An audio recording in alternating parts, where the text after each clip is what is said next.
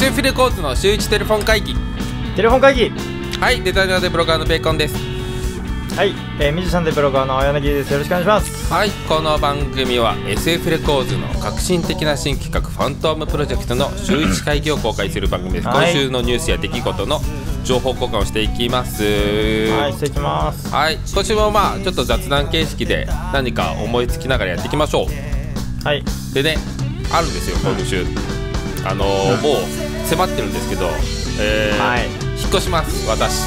一軒家一軒家に。はい。今までね賃貸だったんだけどうん。一軒家に引っ越そうと思ってて。まあ今なんかブログにもちょろちょろは書いてんだけどはいはい。築60年の、まあ、も家に引っ越そうと思っててまあもともと田舎なんだけど、まあ、近所に引っ越すんだけどはい。もうねあのー、散々苦情来てましたからね。はいあー。ドラムパッドの。うーんもうねあの下の人が今ね賃貸のここ賃貸なんだけど、し下の人が引っ越してきた当時にねこうドラムをパッと叩いてたわけアレジスのルーパーをあしながら。自分の方が先住んでたのね。そうそうそうそしたら引っ越した下の人が引っ越してきた当日に苦情が来まして。なんかねあちょっとまあさっきた対策も弱かったんだけど来ましてまあそういうこともいろいろあったんですけどまあそういう感じで引っ越すことになりまして音がね出し放題になったわけですよ。まあまだ途中なんだけど。うんはい、それでねちょっとねいいところをね嬉しさを語っていきたいなと思ってるんですけど、はい。い、いですか？付き合ってもらっていいですか？いいはい、はでねもうねエレドラ買ったの、いうん。今までドラムパッドだったんだけどエレドラを買いまして、うあのー先駆けエて買いましレドラってどんなんだ？もう本当のまあ。ローランドのですね、まあ、一番安いモデルのスネアがメッシュになったパターン。ああこういうのか。画像を見て。はい、買いました買いましたで島村楽もうねあの先に買ってまだ家完成してないんだけどもうしうん仕事場にちょっと置いてちょっとね3時間ぐらい叩いてみたわけですよ。はい。でねもうねいいね。楽しいね。楽しいね。もうね引っ越しただけで、はいはい。引っ越してないけど。ほんとねこうあれうるさいぜ？エレドラ。そこそこあそうなの？めっちゃうるさいよ。あんなもんここでやったらもうすぐ苦情横と下から苦情来るからねきっとね。でもね初めてドラムに3時間ぐらいね叩いてみて。うん。なんか今までドラムをねスタジオの間は叩いたことがあったけど、うんうんまあそんなさ軽くポポって言ってさしかもみんな見てるから恥ずかしいじゃん。なんかドラマーいるじゃん大体ドラマーいるってことは。で見られるドラマい恥ずかしい。じゃんるからねだから。からまあ別にできないんですけどみたいな手で叩くじゃん。はいはいでも今回はマジだからさマジで。メトロノーム合わせようと思って。3時間やるとね、ちょっと見えたね。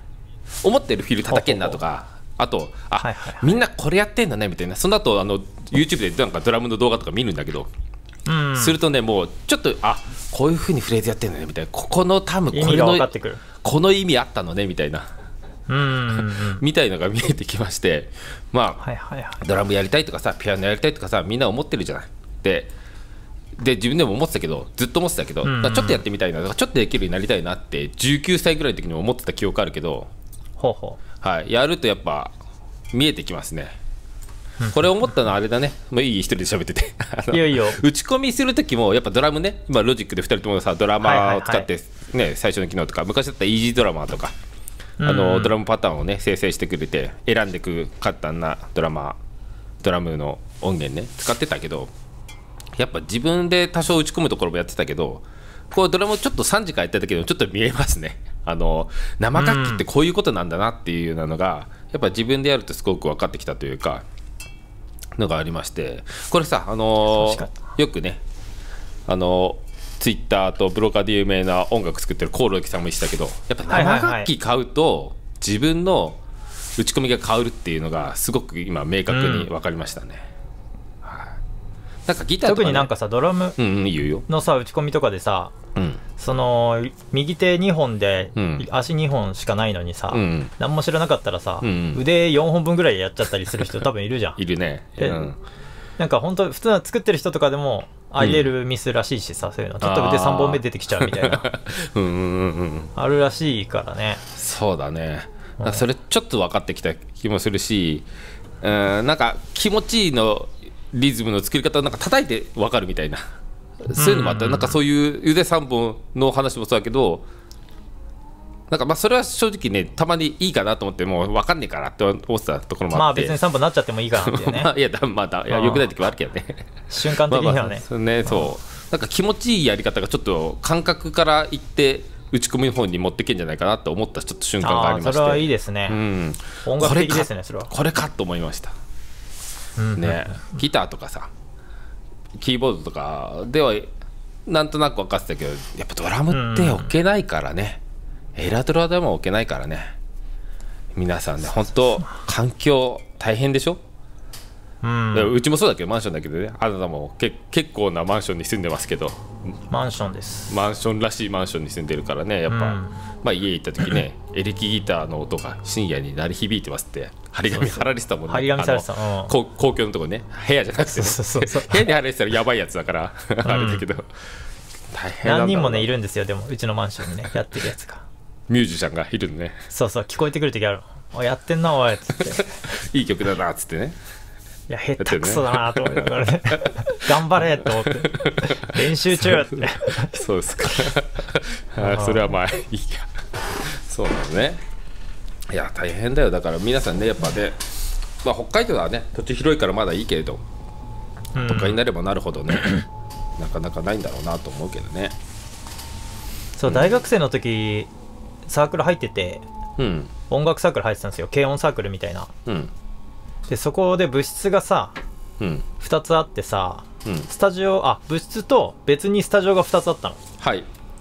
部室は普通にいる部室みんながくつろげる部室、ソファーあったりゲームあったり漫画あったりする、うんそれとは別のスタジオが A スタジオ B スタジオってあってうんそこでもうい入り放題なのよ。4年間、うんうん、スタジオ入り放題、うんあれすごいよねあの環境。すごいね。すごそいうねドラムで大体大学生なんてさその大学の近くに住んでるかまたはまあ遠く住んでても、うんうん。1日来てる間はさそんな2つ講義出て帰りますってことないからさ長い時うん間その大学の付近にずっといるわけでしょ、うんうん。だから毎日入れるし毎日入ってた人は上手くなってたもんなドラマでも。そう。すごいよね。それが今はもう無理だもんね。そうだね。そういう環境が。アコギがうちは弾けないからうんエレキギターをねつないでヘッドホンで聴く分にはいいけどアコギは弾けないし、うんんそういうのは関係してきますわあるね。そうだね。ほんとそうだね。だから今さアコギなんて高いアコギ持ってっけどさ。うんうん。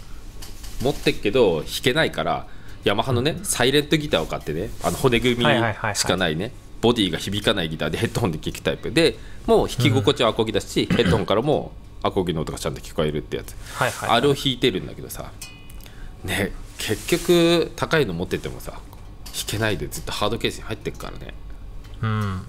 もったいないです。もったいないよ。でもこれから買ってっけどね。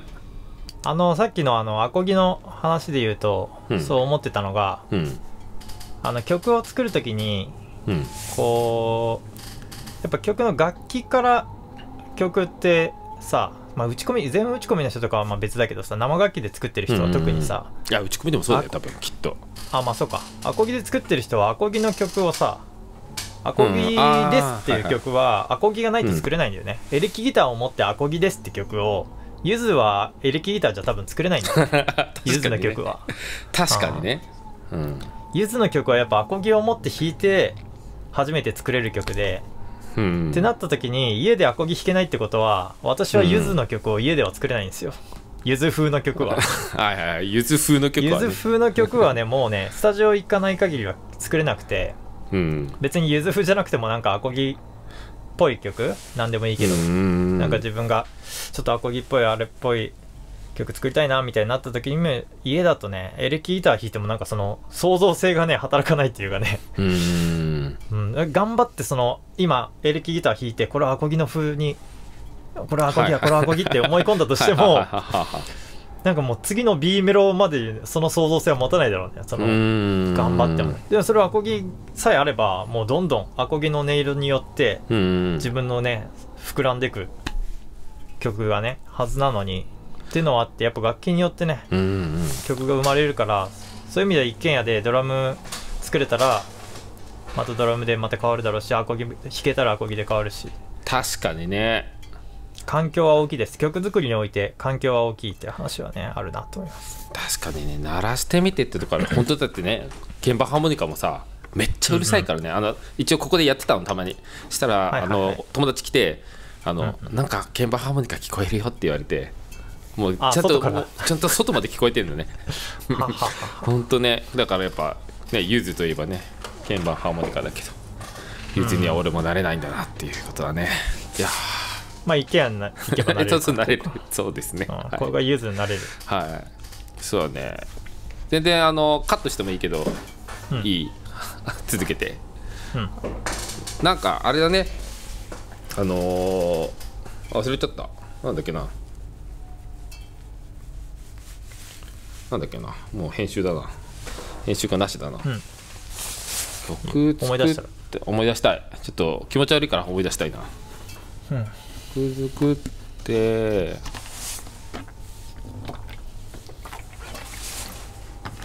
自分のああ思い出した。なんかさ、その想像力があると逆にエレキギターをおこげに変えることが A メロはできるわけじゃん。うんうんでさなんかすごいあの家づくりの話からもうさすごく飛ぶ想像力の話になるんだけど今それで、はい今ピンと自分でそうだなと思ってさなんか憑依型のさ、作曲方法とかあるじゃない？